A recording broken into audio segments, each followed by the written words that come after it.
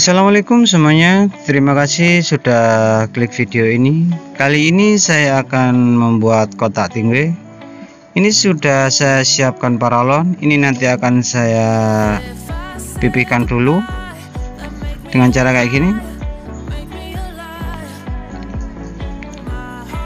Ini setelah jadi lembaran ini akan saya garis dulu. Habis itu saya potong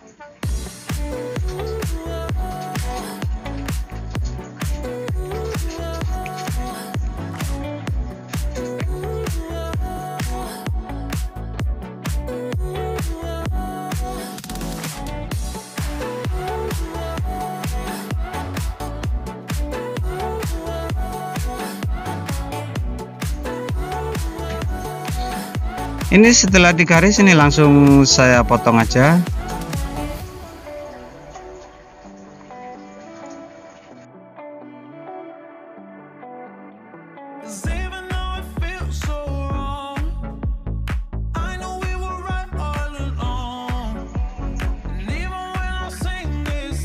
Ini empat bagian yang saya ambil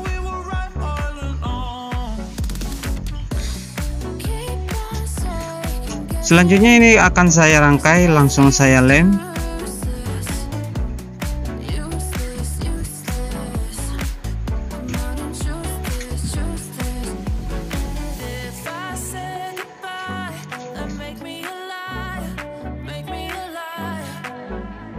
Bagi anda yang baru menemukan channel ini jangan ragu untuk subscribe ya karena subscribe itu gratis dan nyalakan notifikasinya agar kalian tidak ketinggalan video saya berikutnya.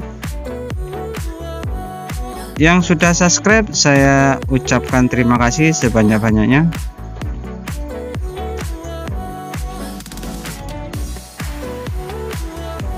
Ini setelah dilem semua ini akan saya buatkan penutup atas dan bawah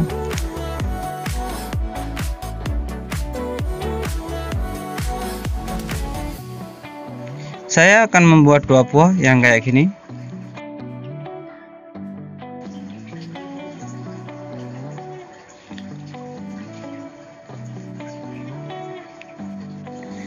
Ini langsung saya lem ya saya paten semua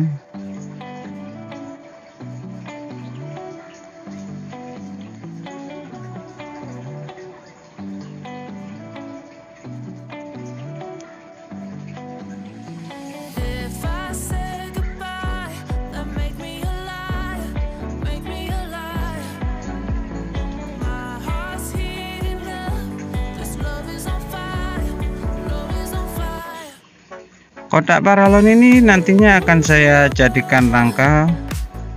Ini akan saya kasih serabut kelapa bagian luarnya.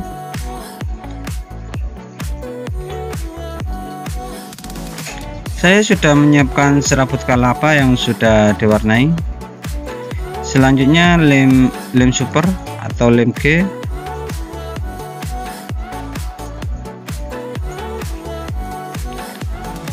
serabut kelapa ini akan saya tempel di sini ya lalu lalu saya lem. Nempelnya cukup tipis saja agar hasilnya tidak terlalu tebal nantinya. Setelah dilem langsung ditekan-tekan agar padat ini seluruh bagian ya saya kasih saya kasih serabut kelapa semua. Kayak gini jadinya. Untuk bagian sisi-sisinya akan saya kasih warna yang berbeda.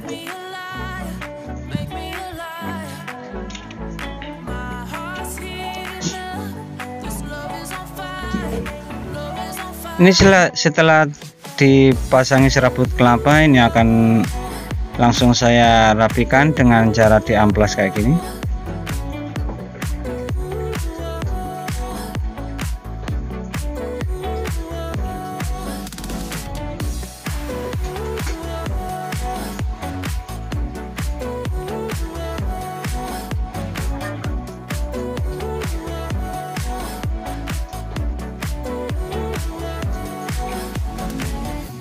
Setelah dirasa rapi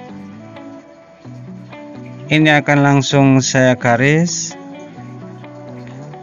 Dan nantinya saya akan saya potong. Ini saya kasih jarak 2 cm untuk bagian depan. Dan bagian belakang satu setengah cm ini nanti fungsinya untuk penutup ya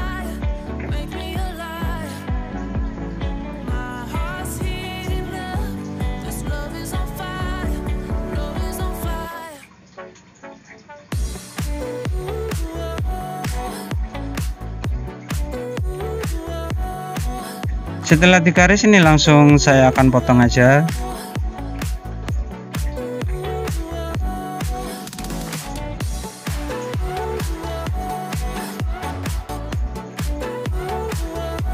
Jika video ini bermanfaat jangan ragu untuk subscribe ya. Yang sudah subscribe saya ucapkan terima kasih sebanyak-banyaknya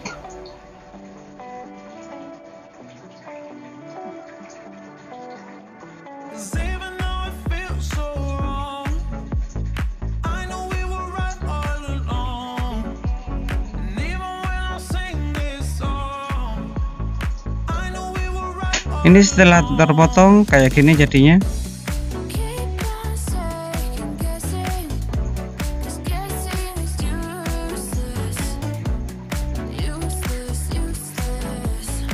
Ini akan saya rapikan dulu atas bawahnya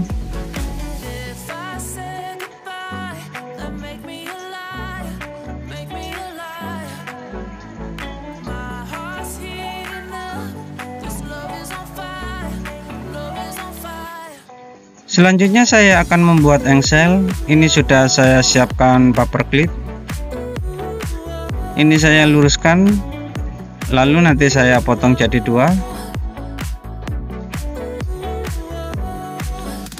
Selanjutnya paper clip ini saya kasih serabut kelapa lagi. Kira-kira kayak gini ya. Ditekuk kayak gini lalu dilem ini sambil dilem sambil ditekan ya agar padat agar tidak terlalu kembung serabut kelapanya.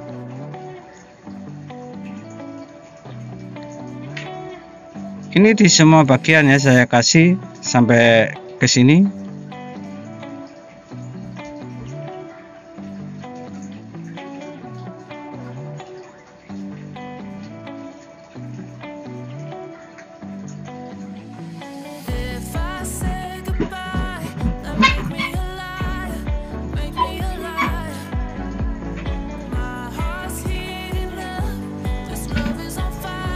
kayak gini jadinya. Saya akan membuat dua buah yang kayak gini.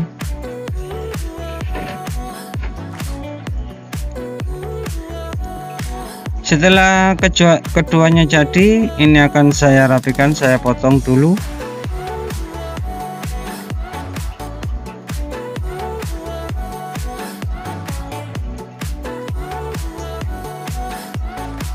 kayak gini kira-kira. Ini nanti akan saya potong bagian tengah bagian sisinya. Ini akan jadi engsel. Tapi sebelumnya paper clipnya ini akan saya ambil dulu kawatnya untuk pemotongan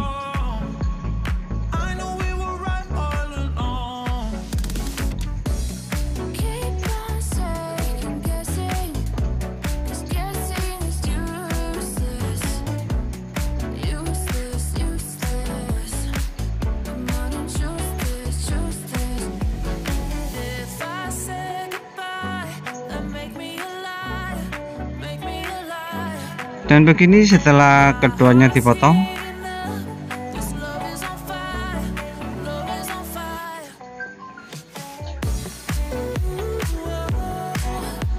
setelah itu kawatnya saya masukkan lagi. Ini agar jadi poros dan ini akan menjadi engsel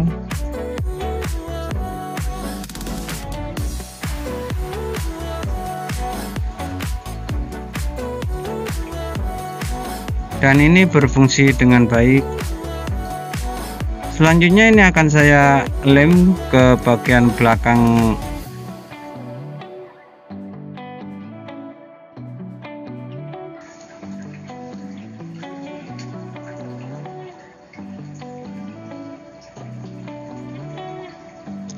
Diusahakan ngelemnya yang yang kuat ya yang banyak agar tidak mudah lepas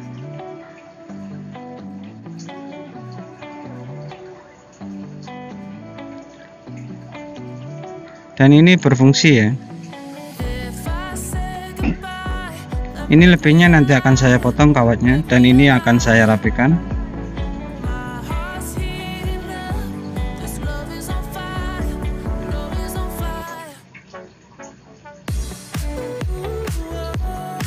Setelah dirapikan kayak gini ya. Selanjutnya seluruh bagian ini saya kasih lem seluruh bagian bodi saya kasih lem. Tujuannya untuk memperkuat serabut kelapanya dan memberi kesan mengkilap. Ini kan saya ini akan saya ratakan lagi saya rapikan lagi. Ini nanti setelah rapi ini langsung saya kasih semprotan clear ya agar lebih maksimal hasilnya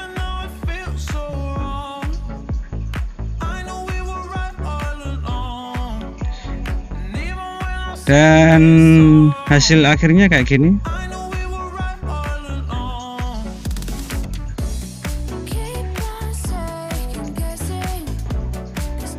Jika video ini bermanfaat, jangan lupa untuk like, subscribe, dan komen. Dan terima kasih sudah menyaksikan dan sampai jumpa di video berikutnya.